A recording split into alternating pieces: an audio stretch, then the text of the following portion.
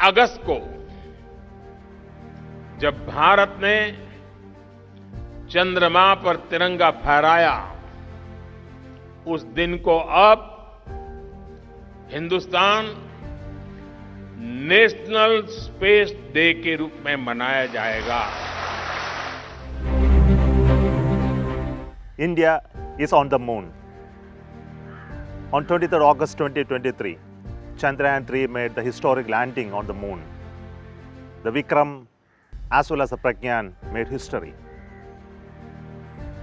This 23rd August 2024, we are celebrating the National Space Day announced by our Honorable Prime Minister to commemorate the landing on the moon, the historic landing on the moon celebrations across the country are organized, culminating in the first anniversary celebration of this historic day at New Delhi.